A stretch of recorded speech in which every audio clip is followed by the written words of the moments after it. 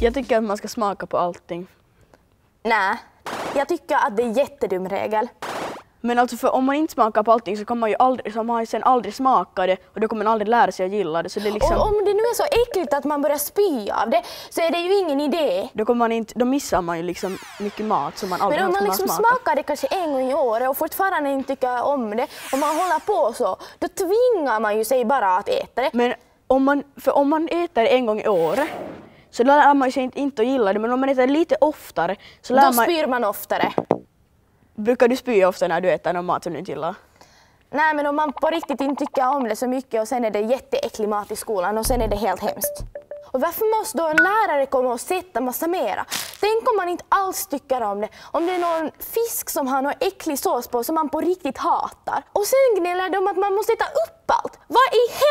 I? Men man borde liksom ta så pass mycket mat att de där lärarna inte kommer att sätta mera men ändå så att man inte blir helt plågad av den där maten. Men liksom varför kan man inte bara slänga den sen? No, men för att då, så, då så får ju massor med mat till spill och maten kostar. Grisarna kan äta det. Ja men grisarna kan äta grismat som är gjorda för grisar. Så ska vi äta liksom mat som är gjorda för oss. Nå, varför får man inte leka med maten då? Jag tycker det är helt sådär att om man måste sitta så här. Men tycker du det är trevligt om man ska kasta mat i matsalen i skolan? Det skulle flyga. Man ska kunna ha köttbulls, köttbullskrig. Man prickar köttbullar i andras face. Skulle du vilja ha massor med köttbullar, kokta, varma köttbullar i ditt face som kanske har någon sås runt omkring Det är dig? faktiskt gott!